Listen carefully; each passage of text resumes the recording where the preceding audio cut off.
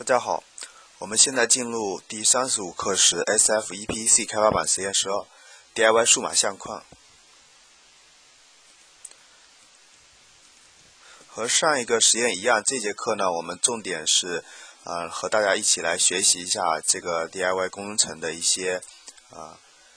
就是整个设计的一些思想，而不是具体的来看这个设计的代码。嗯，代码呢，还希望大家能够自己花时间，能够。啊，仔细的来啊消化。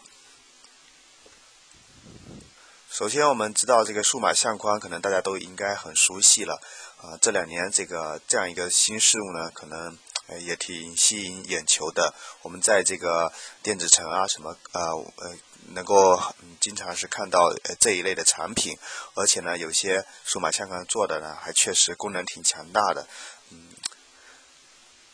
然后我们这个设计呢，嗯。我们先看一下背景吧，啊，就是说这个数码相框呢，啊，说实话就是一个昂贵的发明呢。这个我们选择 DIY 这个数码相框呢，也不是说呃和上一个设计一样的，不是说我们要做一个实实在在的产品出来，呃，而是说我们就是通过这样一个实验，这样一个工程，让大家来更深刻的来理解或者说来认识这个 LPG 开发它一个整个流程一个过程吧，啊。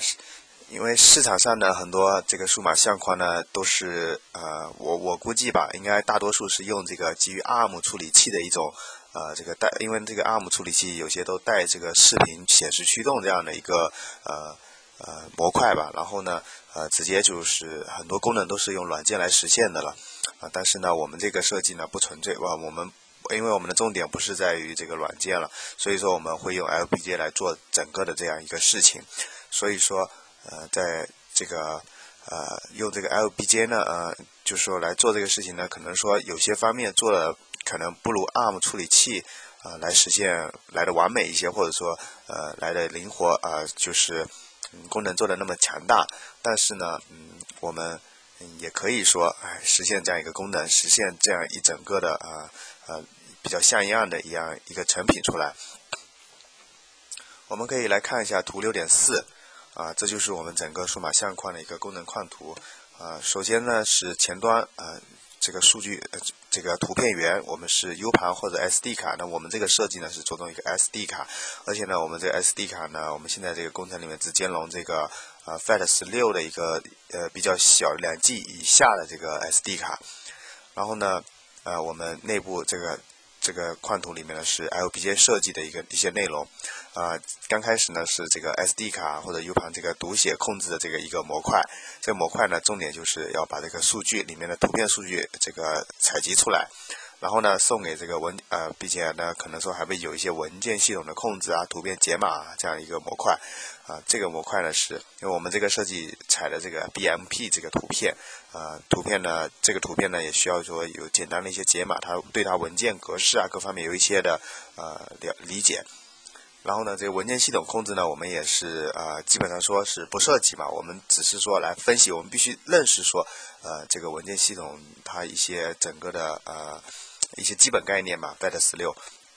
然后呢，我们才会知道在 SD 卡里面哪一片的呃存储区域里面存放的是我们真正要显示的这个图片。所以呢，呃，虽然说我们不涉及说就是来做这个文件系统的一个控制，但是呢，我们还是必须呃来理解这个东西，来消化这个东西，然后呢，啊让然后呢，我们呃就是能够定位到我们相应需要的那一片数据，然后把它读取出来。可以说，我们这个设计呢，可能不实现那么强大的功能，但是呢，我们还是需要大家呢，对这些文件系统啊、呃 BMP 图片格式啊这些，以以及这个呃呃，就是说这个 SD 卡的，就是文件格式存储啊各方面这些基本知识呢，至少是啊要要能够了解，或者说能够呃理解。然后呢，有一个液晶显示驱动模块啊，我们这个液晶呢，可能说呃会。呃，因为我们这个设计呢，就是选用一个三点五，呃，就是，呃，是选用的这个呃 VGA，是我们通用的显示器。前面几个设计里面都涉及到了这样一个驱动。然后我们同样，我们第二个点，我们来看功能需求和模块划分。第一个点呢是使用 Cyclone 系列的 EBC 3T 幺四四啊，作为我们是基础来实现所有功能啊，还是以我们的 SF EPEC 开发版作为目标版。然后第二个点呢是说用从 SD 卡里面读取图片，呃，是使用这个 SD 卡的 SPI 模式啊。当然它还有一个 SD 模式，那我们只使用 SPI 模式，就是用四根线来做这个整个的和 SD 卡之间相互的数据交互通信。然后呢，SD 卡这个操作呢不涉及文件操作系统，嗯，比较简单的，我们只要定位到，我们是通过呃我们的我们在呃这个 PC 机上面，我们通过这个 WinHex 来查看这个图片数据具体存放在哪里，呃，当然我们也可以通过自己呃理解这个文件系统以后，我们来计算出它在哪里，然后我们把这个图片读出来。第三个点呢是使用 VGA 电脑显示器作为显示图片的屏幕，工作在六十赫兹八百乘六百分辨率，啊，显示的色彩是二五六色，这我们硬件设计成就是二十五六二五六色，所以说我们能够显示这二五六色。嗯，实际上二五六色呢，其实色彩也是还可以接受的了。最后大家啊，就是来看呢，最后显循环显示的十五图，我们发现这个十五图呢，其实通过我们这个这个设计的 VGA 显示出来就其实也是蛮啊蛮逼真的。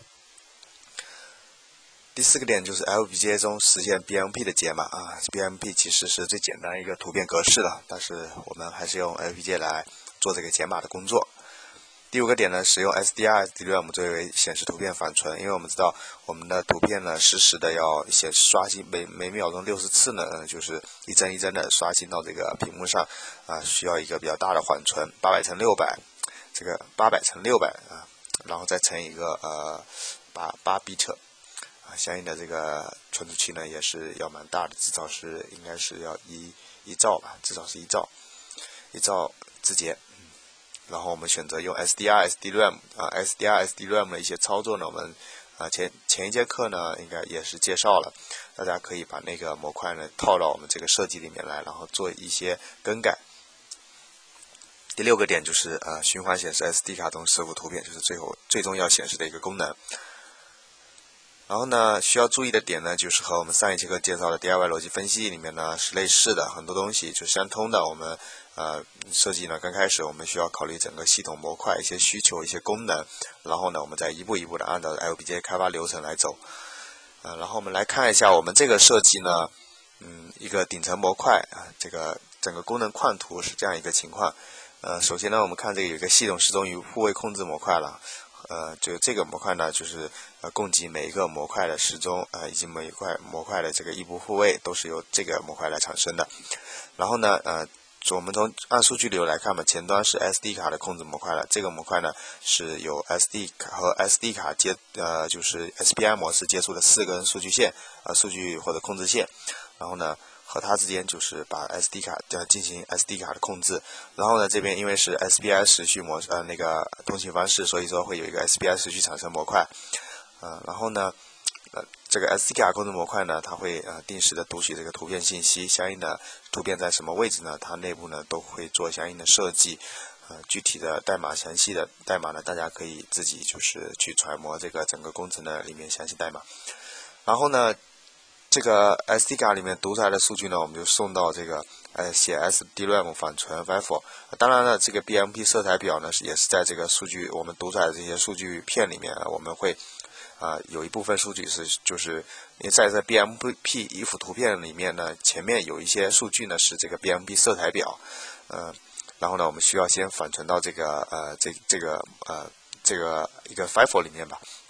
然后呃不是 FIFO，应该是一个呃 RAM 里面。然后呢，详细的数据呢，我们就写 SDRAM 缓存 FIFO，然后通过这个 FIFO 呢写到 SDRAM 里面去。然后呢，呃，这个读 SDRAM 呃 FIFO 缓存 FIFO 呢就把这个呃存储在 SDRAM 里面数据实时读出来。然后呢，通过这个 BMP 色彩表呢进行译码，最终呢这一整幅图片呢就送给这个 VGA 显示驱动模块进行进行显示。然后呢，我们这个设计呢，PL 输出呢是使用了三个时钟啊，一个内部 SDRAM 工作的时钟是一百兆赫兹，然后呢，外部 SDRAM 我们需要给它供一个呃和这个内部 SDRAM 工作啊，就是时钟有一定的相宜的一个，也是一百兆赫兹的时钟，然后呢，内部其他模块我们都使用五十兆赫兹的时钟进行工作，相互之间的交互啊啊都是需要注意的，因为是涉及到跨时钟域了。然后呢，SD 卡相关的模块是两个子模块了，前面介绍了是。呃，包括了这个 SD 卡的模块，它包括了这个三联初始化、命令发送啊、数据读取啊这些功能。然后呢，SPI 模块就是来控制这个 SPI 时序，也是其实是由这个 SD 卡控制模块来控制这个 SPI 的时呃，就是读写时序啊，主要是读啊，也有一部分写的功能。然后呢，数据流啊控制模块用于衔接这个 SD 卡、SDRAM 以及 VGA 显示驱动模块。就是 SD 卡里面读出来的 BMP 设计呢，呃，这个图片呢送给这个，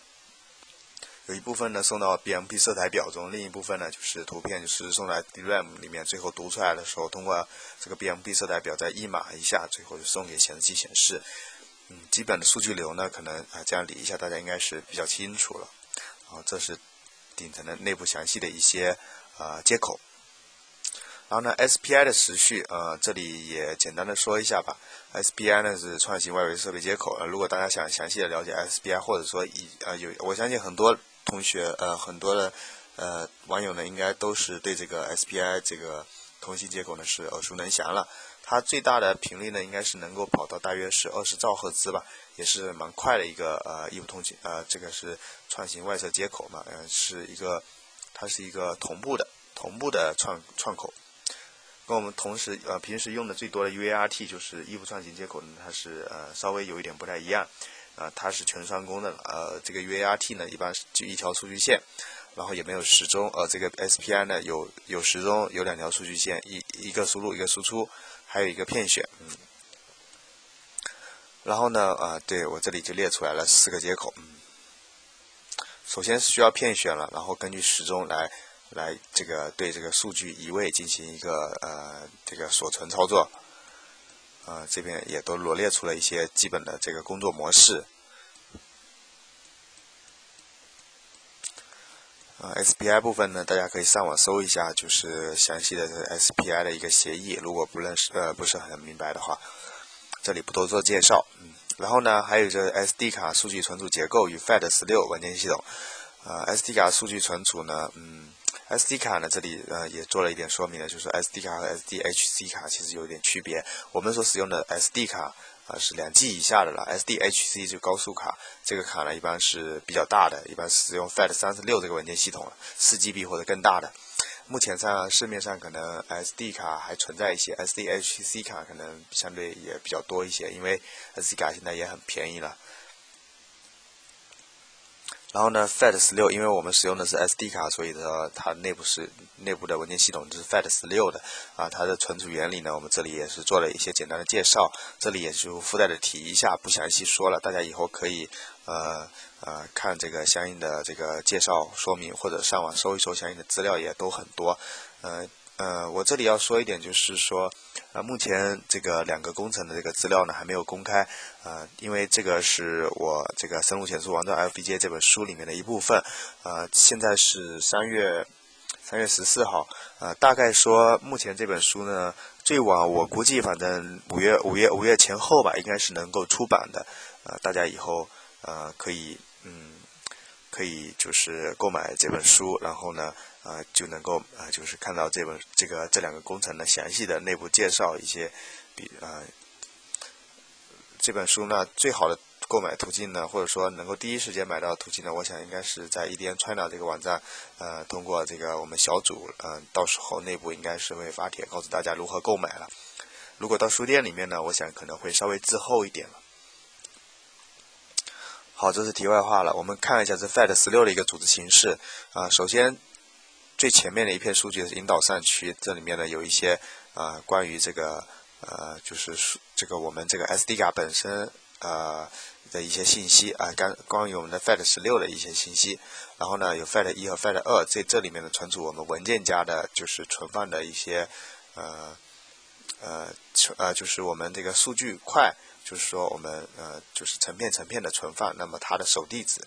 然后呢根文目根文件夹里面就存放我们。我们这个呃，我们这个这张 SD 卡里面存放了多少文件？哎，这些文件名以及文件的在 FAT 一里面的这个指针的地址。，FAT 一、FAT 二其实是备份的，完全一样的啊。然后呢，呃，后面一些东西啊，这里不详细介绍了。呃，这里的内容可能就先略过了，因为可能说太繁琐。呃，我我要是这么说的话，可能讲个一天一夜都不一定能大家能听得明白。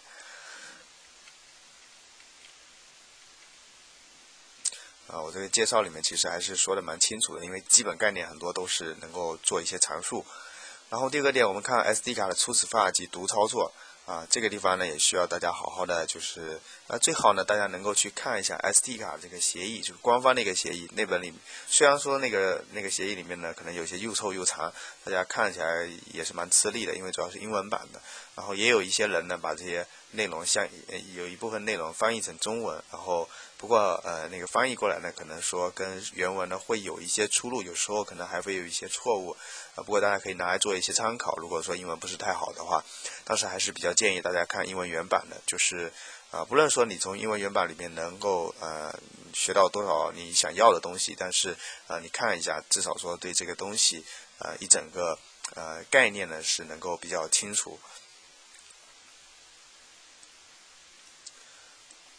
我们这个是呃，其实我刚才刚开始做这个 SD 卡这个呃测试的时候呢，我是设计了一个呃，就是简单的就是串口调试调试这个模块，然后呢把这个从 SD 卡里面读出来的第一个呃扇区里面的数据呃送到这个串口调试终端，然后呢哎观察这个数据是否对了，说明这个 SD 卡调通了，如果对的话，呃所以说大家也可以通过这种方式自己来啊自己来说呃慢慢慢慢来调一调啊不。不一定说非得拿拿到我的工程以后，哎，我的工程跑通了就算学会了。其实呢，很多东西都是靠大家自己动手来做这个事情，然后呢，一步一步的做。虽然说你可能会花一些时间、花一些精力下去，呃，而且也会走很多弯路，但是这样做的话，对你来说肯定是有帮助的。而且呢，呃，做这个 L 呃做 LPGA 开发设计啊，其实说不仅是 LPGA 了，在这个整个电子领域，我们做一些做开发的人来说。呃，很多时候呢，重在是这个过程，而不是最后的结果如何了。尤其对于我们啊，可能比较年轻的工程师来说，我们应该说重这个过程，过于这个结果。啊，前面可能说的不太对啊，这个 SPI 的这个最高速率应该能跑到二十五兆 bit 每秒啊。我们这个设计里面其实是让它跑到二十兆，二十兆左右。然后这是内部设计的一个模块。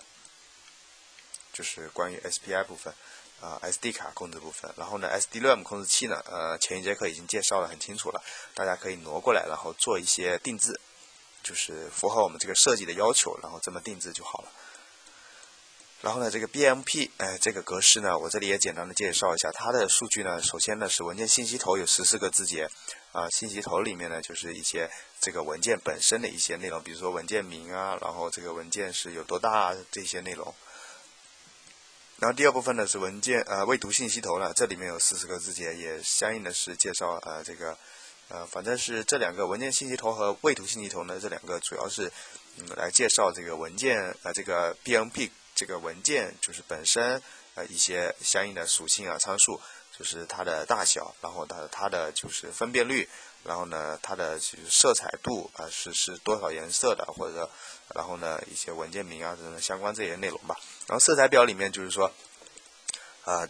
尤其针对于我们这个二二五六色的这个呃这个微彩的这样一个图片，它里面有一个色彩表。这色彩表里面呢，存放了其实这个 B 呃这个 BMP 图片内部的数据呢，本身呃数据读载并不是这个纯粹的色彩数据，而是需要说在这个色彩表里面找到它，它应该说是这个色彩表的一个指示啊，就是指针，哎这个。我们只多找呃，比如说我们一百，我们的色彩是不不是不是就是一百，而是说我们要在色彩表里面找第一百号这个呃数据，它存它的数据就是我们真正的色彩，啊，是以协议里面是这样一个规定的，啊，所以说我们也需要说理解一下，然后呢，把这个这个约定呢应用到我们的实际呃这个呃我们译码当中。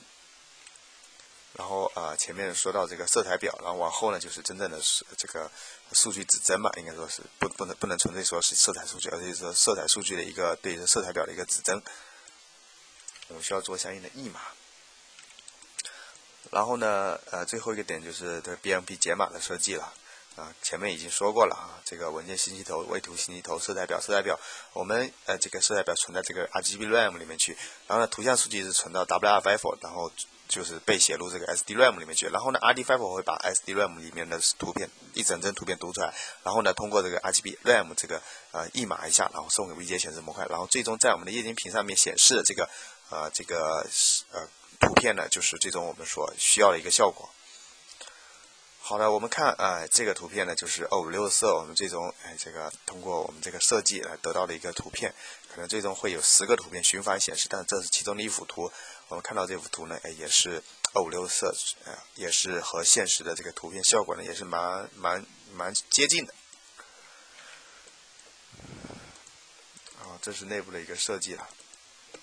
详细的代码这里不多做介绍啊，这里的接口啊，各个方面，大家呢自己去消化消化。嗯，这这里是系统模块，然后呢，SDRAM 控制的这一个模块，然后呢，再往后这个模块呢是这个 FIFO，SD 卡的这个读写 FIFO 控制的一个模块，然后呢，这这个模块其实相当于相对于来说是一个中转中转中转的一个枢纽，它一方面从 SD 卡里面的数据通过它，然后里面的一些 FIFO，然后呢送给 SDRAM，然后另一方面它也会呃把 SDRAM 数据呃。读出来，然后送到它里面的一个读 FIFO 里面，然后这个读 FIFO 呢，在最后最终是要送给这 VGA 显示模块进行显示，然后有一个 SD 卡控制的这样模块。好了，这呃这个设计呢，呃也不多说了，嗯，简单的也就介绍到这里，呃，那么呃我们一共是三十五课时的深入浅出完善 FPGA 视频教程呢。啊，到这里可能就结束了。啊，可能说这段时间以来呢，确实，呃，我也花了一些时间，花了一些精力啊，在这上面。呃，但是呢，呃，我并不是说，哎，可能说我有时候觉得花这样时间，花这样精力，可能觉得，呃，蛮累的，也也没有从呃需要说大家呃付费啊或者怎么样。但是呢，我觉得在，呃，做这样一件事情呢，可能说可以帮助很多人，啊，很多入门，尤其是刚入门的人。呃，通过呃我们这样一个视频教程，也通过呃我们在 EDN FPGA CBLD 助学小组里面提供的一些 BJ EPM 二四零学习版、EBC LBJ 开发版这些板子呢，呃大家可能说能够更快速的入门 FPGA。我想这样这样的啊，如果能达到这样一个效果呢，我想啊，我是我做这个事情的呃这个呃一些呃呃初衷吧，或者说呃。一一些就是预期吧，也就达到了。呃，希望更多人能够把 FPGA CPLD 能够玩转起来，嗯，更多的应用到我们的工程实践当中。好的，呃，那就谢谢大家这么久以来一直对我的支持。呃，也希望大家如果说哎觉得啊我的视频教程、我的板子做的还可以啊，或者说呃也呃我博客写的还不错，那么呃希望多多支持啊。大家以后呢，共同探讨，一同进步。嗯，谢谢大家，再见。